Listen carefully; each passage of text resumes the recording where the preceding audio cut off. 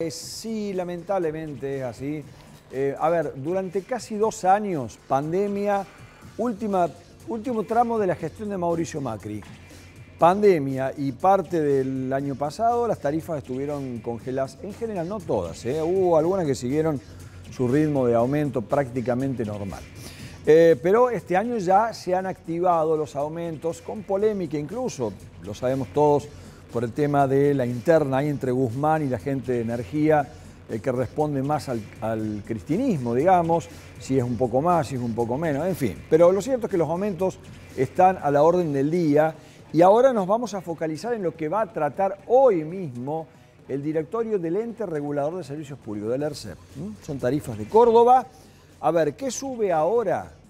Los interurbanos y de vuelta los peajes de la red de accesos a Córdoba. Eh, va a debatir, decíamos hoy, el, ente, el aumento de lo interurbano. Ya la mesa tarifaria se expidió sobre el aumento, pedían un 57, no me quieren precisar cuánto le van a dar. Me dice que no va a ser el 57, va a ser menos. Ahora, cuánto menos no lo sé, pero no creo que mucho menos. ¿eh?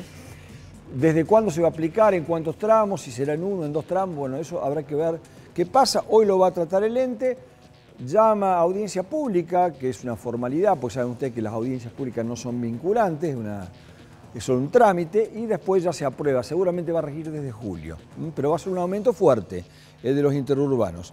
Eh, a ver, y mientras tanto, hoy entra el expediente de un pedido de aumento de caminos de las sierras. A ver, vamos a ver cómo van a quedar los peajes si es que el ERCEP avala el aumento, que no le quepa en duda, lo va a hacer. ¿Eh? va a ser más adelante, será de julio. A ver, las autovías, por ejemplo, la que va mm, a Villa Carlos Paz o la que va a Río Ceballos, eh, de 130 a 150 pesos, un aumento del 15,3 creo que da exactamente el aumento de, ese valor. Eh, ruta 36, que también es una autovía, la que va hacia Río Cuarto, de 140 a 160 la 9 Sur y la E55 de 120 140 pesos. Eso es lo que está pidiendo Camino de las Sierras. Insisto, esto va a regir de julio. Y como ya había aumentado un 30% en enero, ¿eh? si le dan este aumento, eh, en 7 meses o en 6 meses prácticamente habrá subido un 50%, habrán subido los peajes un 50%.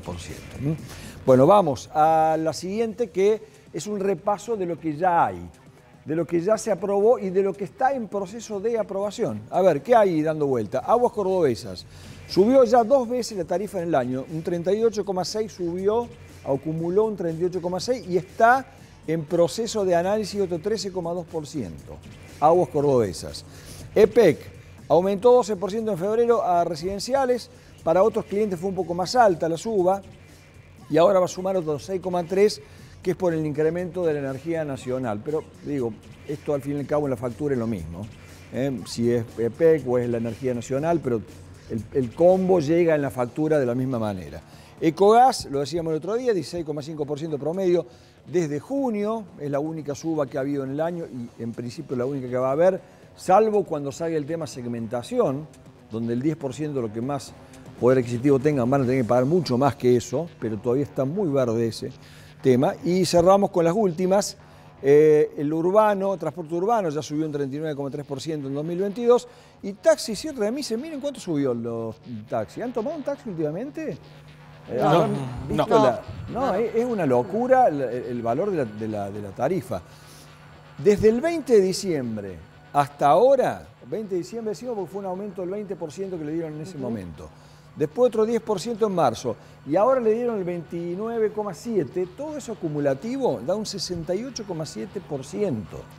O sea, un aumento muy em, importante, este, es prohibitivo ir en taxi hoy, la verdad que eh, sale muy caro, sin embargo la gente lo, lo usando por diferentes circunstancias.